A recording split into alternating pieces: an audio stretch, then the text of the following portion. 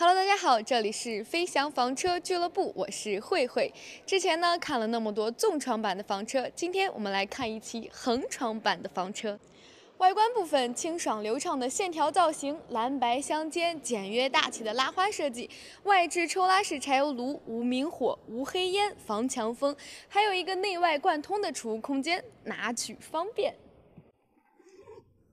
哎，车内的厨房区域就是这样一个状态了。不想在外面做饭的话，车内呀还有这样一个内置的柴油炉，同样的无明火、无黑烟，噪音小。在这个炉子的上方呢，抽油烟机的抽风口就在这里。做饭的时候可以把这个吊柜往下边降一点，然后这样这样。这个抽烟机的抽风口就可以离咱的锅更近一点儿。打开这个柜子，抽油烟机旁边呢就是储物空间，在咱做饭给它降下来的时候呢，二层还可以放一些备菜时候的。盘子呀、菜品呀之类的，房车出行嘛，空间利用就是王道。再来看看驾驶区，大通 V 九零的底盘，上汽派 2.0T 柴油发动机，6AT 自动挡变速箱，最大安全时速150千米每小时，最大功率一百零八点五千瓦，最大扭矩三百七十五牛米，准乘人数四到六人，油箱八十升，这个参数您还满意吗？中间有这样一个四人对坐的会客厅，前方正副驾均可旋转，中排这样两个航空座椅，按照人体工程学原理打造，真正实现坐车不疲惫。一张座椅配备了脚托、椅背调节、前后移动、左右侧滑多重功能，再加上中间这个一键收纳的小餐桌呀，不管您是二人对坐简单吃饭，还是四人对坐商务洽谈，都很合适。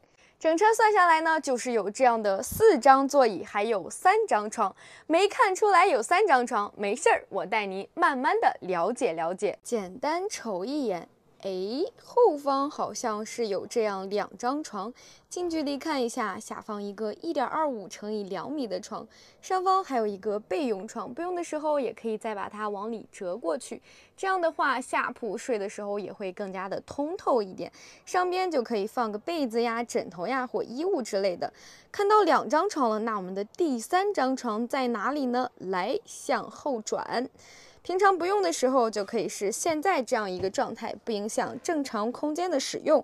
晚上睡觉的时候，就可以把这里给降下来，完全打开之后，就是现在这样一个状态了。一点三乘以两米，承重六百斤。早上起床的时候呀，被子、枕头不想收也可以，直接一键给它升起来。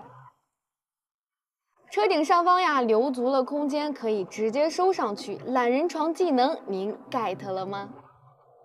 卫生间部分，顶置双向换气扇，旁边配备了独立的照明系统。再往旁边看来，一个储物空间，淋浴花洒也在这里。哎，一个五孔插座，旁边还是毛巾置物架，当然了，也可以挂一些小衣服。再往下看，通风换气用的外推窗，旁边大大小小的储物空间。再往下来就是飞翔房车一个折叠式的洗手盆，最下方赛特福德可旋转的马桶。最后再来说一下这款车的水电问题：八百安时的锂电，六百瓦的太阳能板，二百三十升的净水箱，七十升的灰水箱。好啦，本期视频就分享到这里了，下次还想看哪款车？评论区滴滴我。